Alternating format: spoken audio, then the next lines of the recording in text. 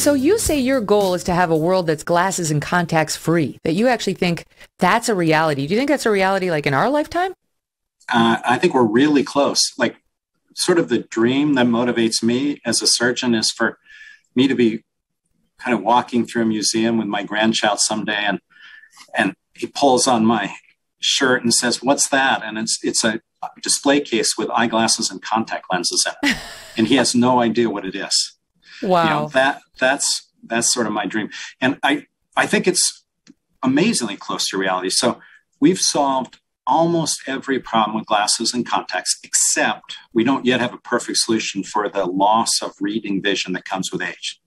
You know, mm. where grandma and grandpa pull out their reading glasses in fact, it's not just grandma and grandpa, it's anybody over 45 generally needs reading glasses. And it's frustrating, you know, you, you see people holding things way out in front of them, trying to read it. And um, we haven't got a great solution for that. Usually we solve that by doing one eye more for distance vision, one eye more for reading vision. So the eyes kind of work together and let you read. That's that what doesn't I got. work for everyone. Yeah, exactly. So that's it's what perfect. I got. It, they call it monovision, right? Exactly. And it's perfect Yeah. for somebody like you who's an on air performer. You don't, I mean, you don't want to be grabbing, you know, granny glasses and putting them on in order to read something. It doesn't work. It's too So- much of a hassle. Well, it's funny because Yeah, my exactly. up close reading was doing okay, but I know it's going to go in the wrong direction. Um, and my long distance vision was always the problem. So I, people out there who wear contacts, you'll understand this. I was wearing a minus three in each eye, minus 3.0. And um, I tried doing a minus three and a minus two. You figure out which one is your dominant eye. Your doctor does that with you. And your dominant eye, they correct for the long distance. So that stayed minus three. And then the weaker eye, I guess non-dominant, they'll they'll undercorrect that in the LASIK. So that's going to be your reading eye. And so I tried minus three and minus two, minus three and minus 2.25, minus three and po- 2.225, and so on. And I wound up settling on minus 275 and minus three. And I wore those contacts for months to see if I could read. Could I, and, and I love it. I, I was like, this one I can do. Yeah. And so kudos to, you know, kudos to your doctor because that's what the kind of the LASIK mills don't do is you need a doctor and a system that'll sit down with you and really figure out how your vision should be corrected and, and what's the right procedure for you. You know, LASIK's not for everyone. I mean, it's fantastic for people who are minus three, but not for people who are minus 12. Hmm. And so, you know, you need a, a center that'll figure out what's right for you.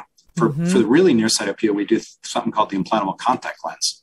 Yeah, what's And, that? um, ah, it's fantastic. It's a tiny little clear. It looks like your your old soft contact lenses, but about half the size. We roll it up in a little tube and insert it into the eye. It unrolls, but it just stays there, correcting vision permanently. what? And uh, yeah, it's uh, it's Doesn't really that neat. cause And you don't dry- have to take it terrible dry eye? it. Yeah, no dry eyes. Yeah, that's a miracle. Yeah, yeah, it's really neat. And uh, the next generation of this was just FDA approved this week, actually. Wow. And so it's that's growing in popularity. That's um, for the people who who have very like minus 12, you're saying. Well, actually, I is it it's in fact great for people with a lot less than minus twelve. Like Oh. we're using it sometimes as low as minus four. It just Oh, depends on the individual. And but Okay. my message is you want a center that'll figure out what's the right thing for you because um, there's all saying if every if all you have is a hammer, everything looks like a nail, Mm-hmm. right? So you want a center that does a variety of procedures, got expertise in those, it'll sit down with you and, and spend time to figure out what's right for you.